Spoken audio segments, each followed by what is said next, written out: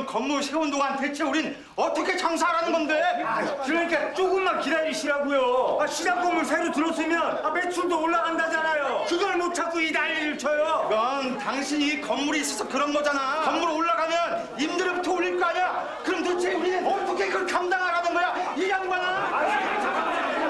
저 이미 허가가 났고요. 아 이렇게 막무가내로 공사를 막으시면 저희도 곤란하거든요. 또 송희섭 의원실에서 오기로 했으니까 천천히 이야기 들어보시죠. 아끼는 뭘 들어?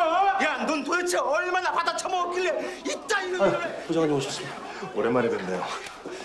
하, 어떻게 된 겁니까? 이건 뭐 말도 안 통하고 난장판이에요. 이 보상금 몇 푼 더 받아 먹으려고 생태 쓰는 걸 우리가 모를 줄 아나. 찬성이 많아서 지금 허가가 난 건데 아 지금 와서 이렇게 반대하시면 부장님, 이 사업에 지역 여러 인사들도 투자한 거 아시잖아요. 삽은 떠야 하지 않겠습니까? 같이 해결하시죠. 아, 자 저기 저기 저기 의원 보좌관 왔어요. 아, 빨리 나 좀. 어, 저, 저 친구는 그 공무원이고요. 저 사람이 상가 회장인데 만만치가 않아요.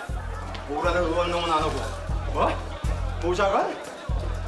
야 예전에는 일일이 사람 손 잡아가면서 찍어달라고 구글하더니 재래시장 살려주겠다고 하는 그 국회의원 놈 도 대체 어디 간 거야? 어, 의원님은 사정이 있으셔서 제가 대신 내려왔습니다. 저 장태준 보좌관이라고 합니다. 어디서 보좌관 나부랭이가 사정도 모르는 놈이 와서 도대체 뭘 어떻게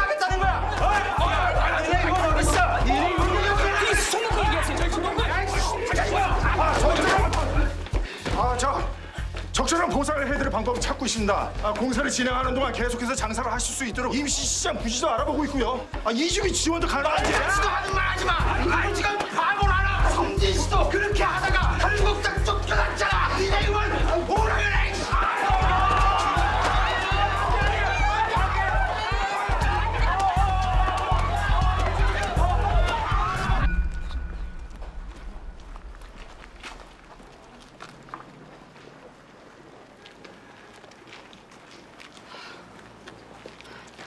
여기 지갑이요. 아, 예. 힘내세요.